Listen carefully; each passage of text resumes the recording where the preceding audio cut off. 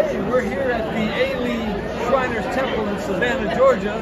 I'm with Gary Cooper, the latest inductee into the Greater Savannah Athletic Hall of Fame, class of 2023. Gary's a former uh, high school uh, standout athlete, three-sport athlete, and he played for the Atlanta Braves in 1980.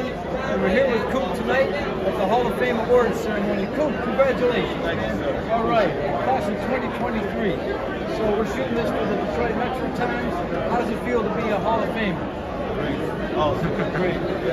Man, how about that? So, hey, tell us briefly. So, when you when you got called up to the big leagues, you came up to Pittsburgh, right? The Braves were taking on the Pirates, Right.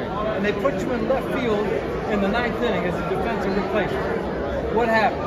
Well, it was two outs. They had run on second. And came in a pop-up. which happened. Came in too fast. Bounced over my head. So I made a 360 turn. Caught it dead hand. I called it second base. Caught me Omar Moreno trying to second. Omar Moreno. That was the last out. Last out. Omar Moreno of the world of the defending world champion Pittsburgh Pirates.